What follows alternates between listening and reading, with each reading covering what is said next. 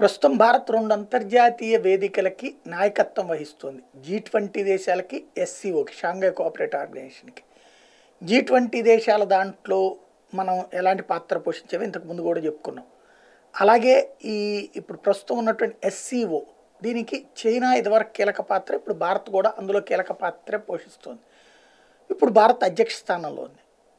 America Bharat మనదే కదా మనం ఇతర దేశమే కాబట్టి మనం చెప్పినట్టు నడుచుకుంటుందిలే అనుకుంటే ఎస్సీఓ అధ్యక్ష హోదాలో ఎస్సీవి ప్రయో ఎస్సీఓ ప్రయోజనాల కోసం అంటే షాంఘై కోఆపరేటివ్ ఆర్గనైజేషన్ ఆధ్వర్యంలోని దేశాల వరకు ప్రయోజనాల గురించి చూడాలి కానీ అమెరికా వాడి ప్రయోజనాలు మనం చూస్తామా? చూడం. దానికి పరిణామక్రమే ప్రస్తుతం వినబడుతున్నటువంటి వ్యవహారం. ఏదైతే ఎస్సీఓకి భారత్ అధ్యక్షత వహిస్తున్న నేపథ్యంలో సౌదీ అరేబియా ఇరాన్ ఈ ఇద్దరు కూడా అప్లై చేసుకున్నారు.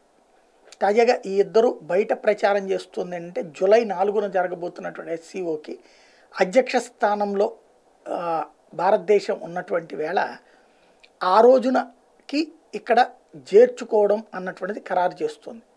ఎస్సీఓకి సంబంధించినటువంటి వ్యవహారంలో ఇది అత్యంత కీలకమైనటువంటి వ్యవహారం.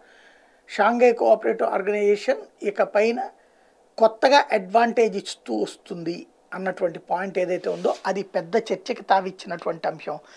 ప్రస్తుతం చూస్తే ఈ బైడెన్ టీం చాలా వరకు భారత్ని అధ్యక్ష స్థానంలో ఉంది కాబట్టి వాటిని ఆపాలని చూస్తుంటే భారత్ అయితే సౌదీ అరేబియాని ఇరాన్ని కూడా చేర్చుకునే దిశగా ఉందంటూ ఆయా దేశాధినేతలు ప్రచారం చేసుకుంటున్నారు.